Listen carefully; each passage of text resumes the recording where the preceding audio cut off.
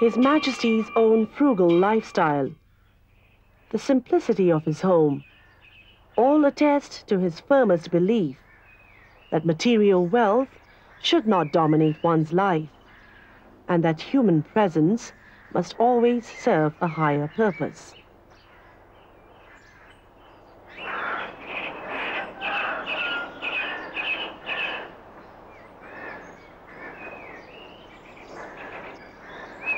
Even his office, where dignitaries from around the world are welcomed, typifies his modest and down-to-earth nature.